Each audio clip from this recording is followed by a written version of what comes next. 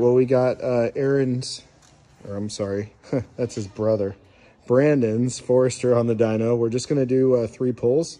He put a new motor in it. Um, I tuned this car a while ago, and uh, he just wants to make sure the air fuels are good and see where it's at because it's been a while. So, uh, yeah, it's a pretty nice setup.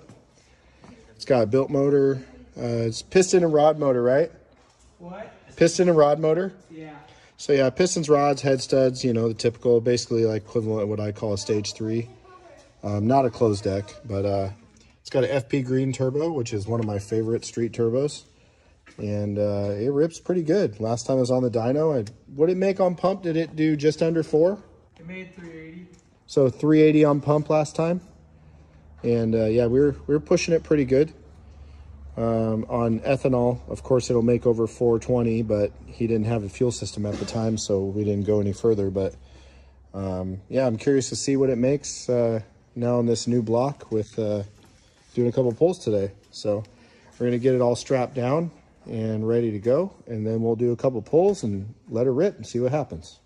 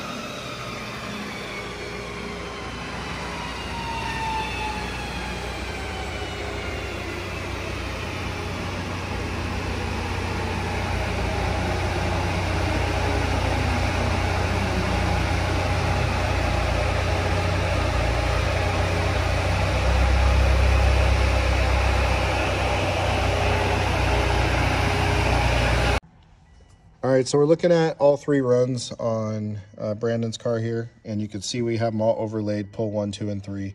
Pull one is what it came in at.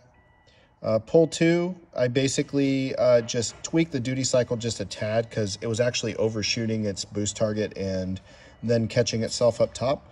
So since the new motor's been put in, obviously something changed in the in the uh, plumbing or you know, what have you. Whenever you put a new motor in, you know, I'm always an advocate of putting a car back on the dyno and double checking it because you could fix a small little vacuum hose or leak somewhere and you will get a different result and throw the tune off. So this car is kind of a prime example of that. Um, if you look, you know, power is pretty much identical through all the pulls except the blue line is the last pull where I refined the wastegate duty cycle table and actually pulled the boost down to back to its target where it should be. So instead of it peaking at 24, we got a little more torque right there when it came in, but horsepower dropped off anyways up top. Um, I pulled it down to 21, which was the target for pump gas, and it made more power up top. So the car's happier. Everything looks good there. Um, go over air fuels and boost curve here. You can see there's that boost I was telling you about, the first pull where it creeped up. So I went ahead and took care of that and uh, fixed that. So you can see air fuels are pretty good. Not too bad there, remain the same throughout the entire pull. So the tune was on point as far as air fuels go.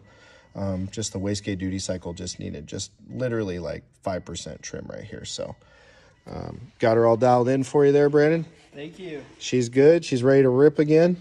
and uh, she made really good power. You know, for this setup on pump gas, it's uh, it's definitely making a little more than typical. Usually we see like 350 on this setup on pump. He's doing, you know, 368 was the high pull, I believe. So uh, she's ripping and doing good. So should uh, should be fun at the track, that's for sure.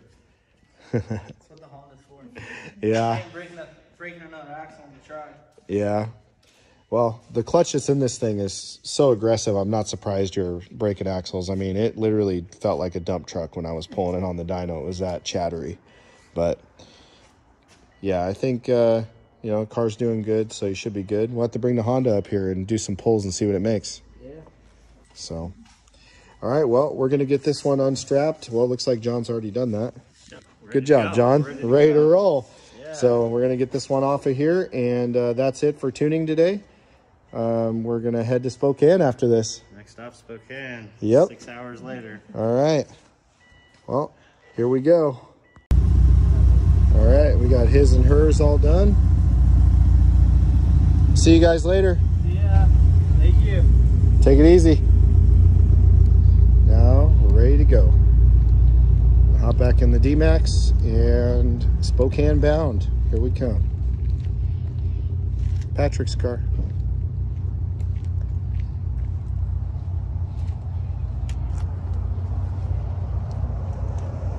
You guys are probably wondering why we have a trailer. Well, you're gonna have to wait to find out for that one, but let's just say I got a big surprise for you guys when we get there.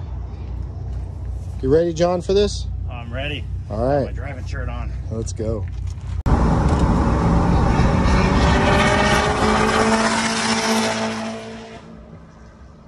There he goes.